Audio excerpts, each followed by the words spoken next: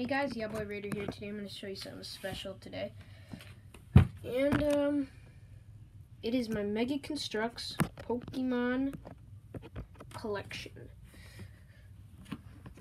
Um, and Mega, Mega Construx is not Legos, it is a totally different brand, but they're similar to Legos. Um, but yeah, I got a lot of sets. I broke up the, uh, like all the land parts and made my own. But, um, yeah, I'm going to show you guys all of my characters in this big piece of land. But first, let's start off over here. So we got this, one of Eevee's evolutions. I forgot the name of this one. Comment down below what this one is.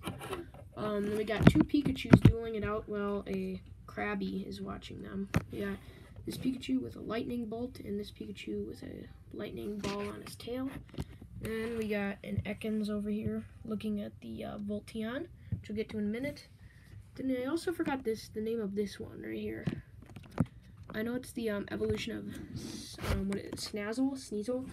Um, then we got a Vaporeon down here who's, I don't know, he's just looking at something. We got a Wurmple, a Sandy Sandygast, and a Porygon who is looking at the Pikachu's dueling it out.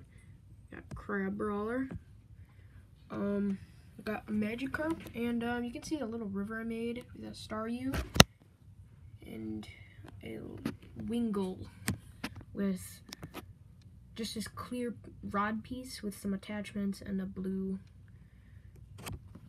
just a blue water piece. You know, I should make these two be dueling it out right now like that. Um, we got Beedrill and Venusaur who were in the, um, the exact same set. Um, I'm thinking of someday I'm doing a review on this. We got an Eevee on top of Venusaur. We got a Scythe, Scythler, I believe. We got a Wartortle with its own piece of land. I kind of broke them up into sections, but um, I'll show you guys that in a second too. We got a Pidgey with a Master Ball and a regular Pokeball. Um, and right about back here, we got a hidden Flareon. And we also have, I don't know if you guys can see that very well. Ugh, super blurry. Um, we got a Bulbasaur back there. I don't know if you guys can see that. Um, we do have a, a, um, a Zubat, too. Um, along with a Metapod. And how I got that Metapod, that isn't actually a set, but I got the Caterpie, and I broke it up, and I made it into a Metapod. And I'll show you guys that in a second.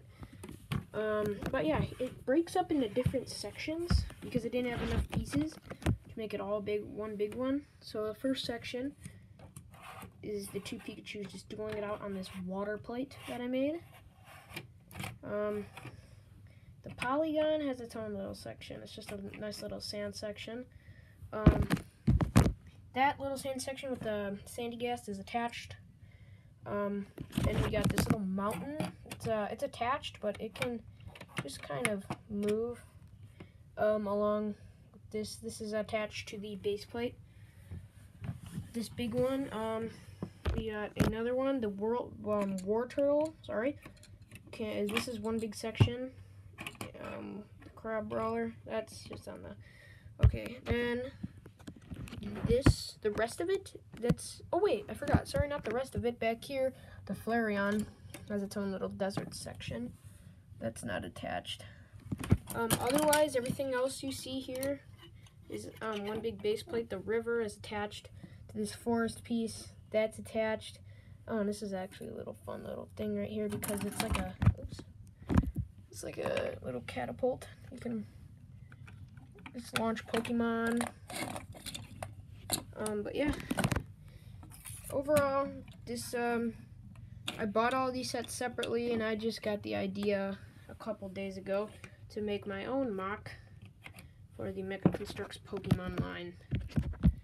And um, it turned out very well. I love this. A little bit harder than Legos though, I'd say. A lot harder to build. But um yeah, a lot of fun building this, a lot of fun putting these characters and these base plates together to make this one big mock. And I think you guys should go purchase the Mega Construx Pokemon. Not even Pokemon, there's like Halo and like dragons and stuff too. Mega Construx is a it's popular. It's pretty popular. Um, I'm gonna get the Gyarados for Christmas maybe, and um, I'm gonna get some more, and then I'll make a video on those. But um, otherwise, this is my collection right now.